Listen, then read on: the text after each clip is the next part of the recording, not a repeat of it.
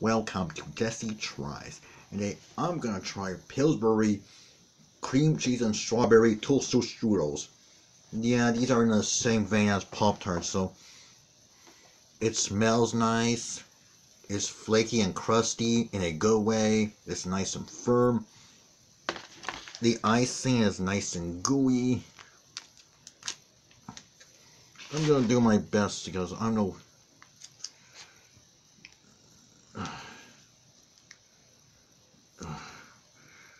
Yeah, I'm doing my best due to the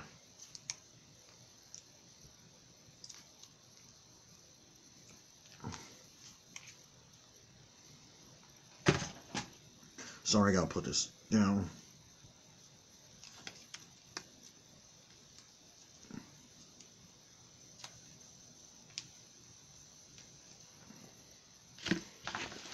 Okay, so it's not the, my best design, but at least I tried.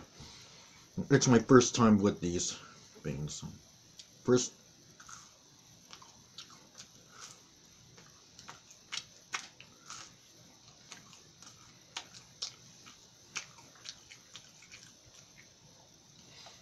It's crunchy and flaky in a good way.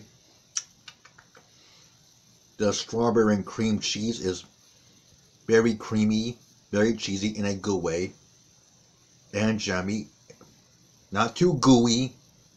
Now let's try with the icing.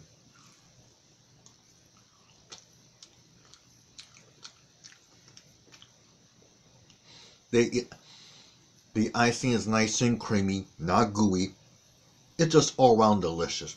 It tastes just as good as Pop Tarts, if not better. I give this an A plus, an A plus.